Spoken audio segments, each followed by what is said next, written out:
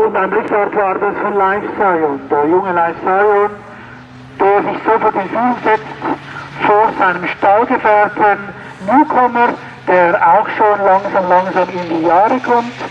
Und ein super schöner Lauf. Jetzt kommt Newcomer aus, wie wir es von ihm gewohnt sind. Aber es gewinnt der jüngere Live Zion vor Newcomer.